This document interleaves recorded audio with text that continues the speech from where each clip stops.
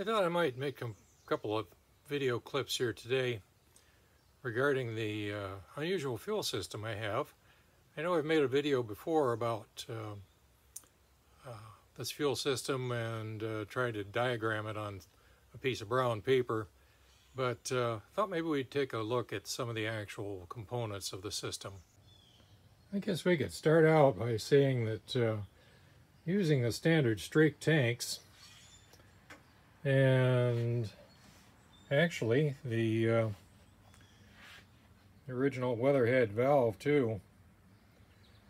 However, uh, as you can see, I've added a bracket over that and uh, that bracket houses a pair of micro switches.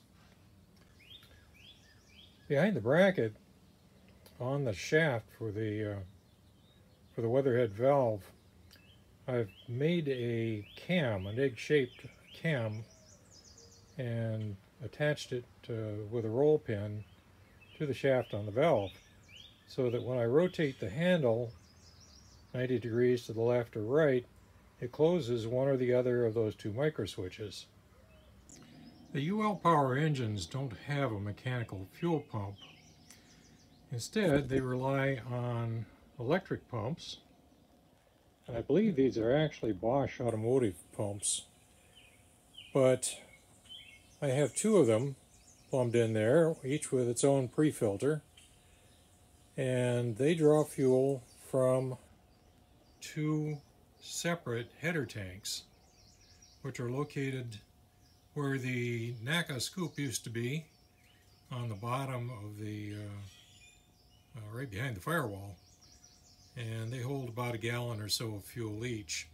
I've also put in some emergency shutoff valves with a cable that I can yank from the front seat in case of fire uh, to shut off all the fuel supply.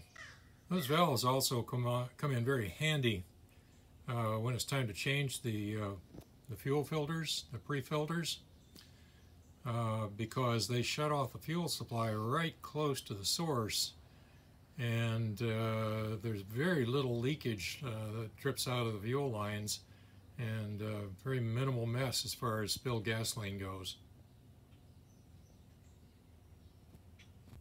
The fuel pumps then feed uh, up here to a pair of, uh, I believe these are 10 micron filters for uh, filtering the fuel and the the pre-filters before the pumps are about 100 microns. But anyway, this is the output of these two are tied together and a fuel pressure sensor is mounted there at the top. These fuel filters then output through one of these red cube uh, fuel uh, measuring gauges. I can't think of the right name for them. There's one there and there's one on the bottom and the Dynon display then reads the, uh, the difference in flow rate to give you your measured fuel flow. Okay, the second red cube is return from the fuel injectors that uh, the fuel is not burned and it returns back through the firewall and goes back to the selector valve up front. So what's happening here is that this return line from the firewall goes back down through the, the center console and you've got the regular fuel lines that uh, are called out in the plans going to that selector valve.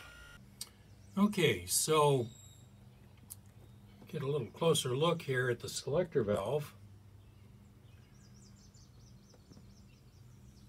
And you can see the micro switch at the top of the bracket underneath and a bit of the cam on the shaft of the cam's aluminum. So you can see that right in the center of the screen. So uh, the selector valve takes fuel that's returned from the fuel injector loop and determines which tank it rotates, uh, or by rotating the handle, it determines which tank that excess fuel is returned to, and it actually goes back to the blister, just like uh, on the side under the tank, uh, just like the original plans call for. Now, because of the cam and micro switch, they also are, uh, yeah, the uh, valve handle then also selects which of the two fuel pumps to be running so that it always is drawing fuel from, uh, say, the left tank and returning excess to the left tank and uh, not overfilling uh, one tank from fuel from another one. Uh, so it, it's locked together in that respect. Now here on the, uh, the top of the instrument panel, I have two buttons marked left pump and right pump and boost underneath. And what these are is switches that are in parallel with the switches on the selector valve. Now these have LED lights in them and the light comes from the power line in the back that goes to the fuel pumps. So when the pumps are activated, the, the micro switches on the selector valve activated, the relay in the back that close that uh, powers that pump closes and when it does it provides power to light the lamp inside this button these uh, left and right pump buttons. So I know whether when the light is on that that particular pump is selected and is receiving power now if I've got a dead engine that means the pump's not running for some reason. It may have blown its fuse, but at any rate, all I got to do is change the selected tank to the other side. Now, let's say the micro switches go uh, on the selector valve fail. Because these push buttons are wired in parallel, uh, manually selecting uh, the appropriate button here will again cause the pump to be powered and uh, so that's a safety feature for uh, the case where the micro switches might go bad on the selector valve. Also, you'll notice I've marked them as boost. So during takeoff and landing, when I want the quote-unquote boost pump feature, all I got to do is poke both of these buttons at the same time. I don't have to stop and figure out which one's running, even though there's a light telling me.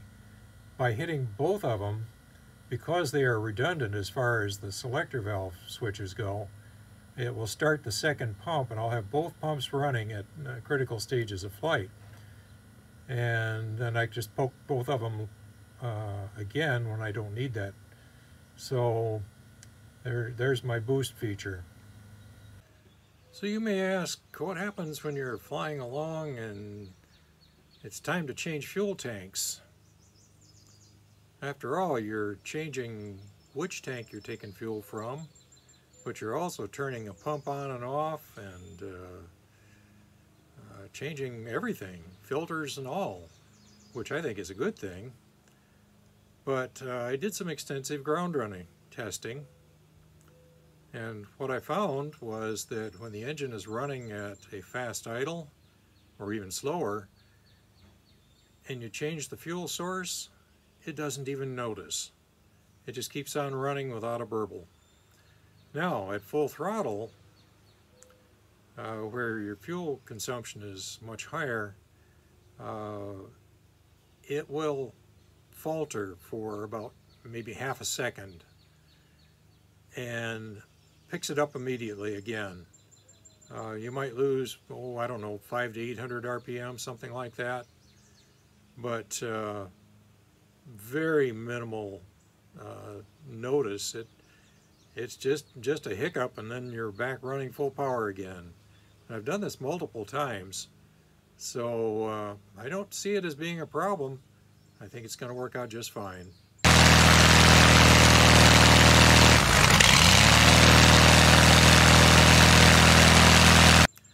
Okay, that's about it. Thanks for bearing with me.